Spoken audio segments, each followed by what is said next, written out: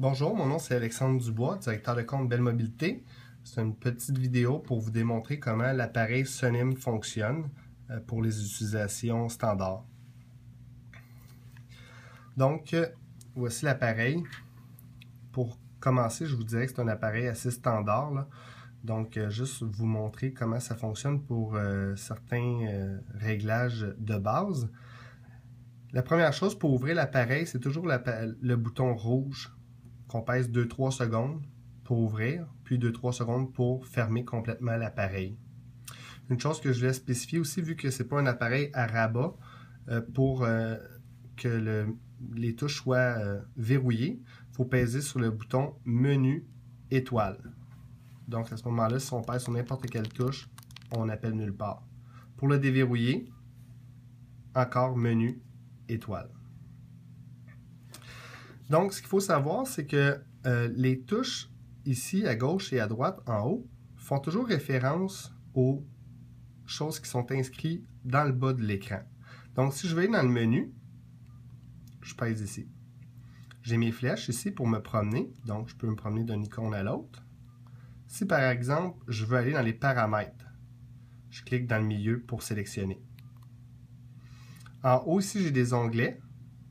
Donc, si je veux me promener d'un onglet à l'autre, je pèse sur la petite flèche à droite.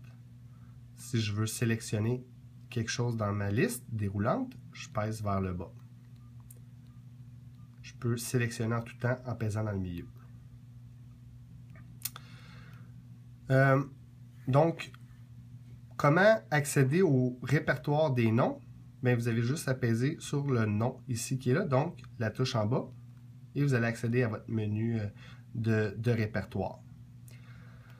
Si vous voulez ajouter des noms, vous pèsez encore dessus cette même touche et vous pouvez aller dans les options, ajouter nouveau contact. On clique ici et on suit les instructions.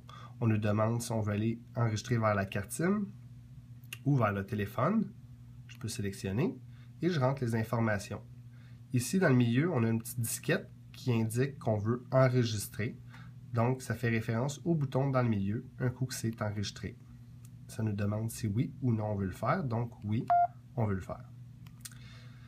Euh, autre chose, vous allez probablement vouloir euh, changer les sonneries.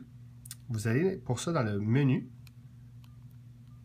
On va dans les paramètres. Et c'est dans Profil utilisateur qu'il faut aller. On sélectionne.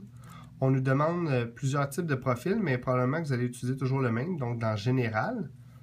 Mais on veut probablement euh, personnaliser le tout, donc choisir vos propres sonneries, le volume, etc. Donc on va aller peser sur le bouton Options et Personnaliser. Ensuite, on peut choisir la sonnerie, le volume, type d'alerte, etc. Comme ça, bien, on est, euh, on est correct. Un coup c'est sélectionné, on peut toujours peser sur le bouton rouge pour nous ramener au début. Si vous voulez rapidement mettre votre appareil sur vibration, vous pouvez, vous peser sur le bouton dièse avec la petite icône ici. Je ne sais pas si vous le voyez. C'est un petit icône de speaker avec une barre dessus. Donc, euh, si je pèse 2-3 secondes dessus, ça va mettre en mode réunion, donc pas de sonnerie.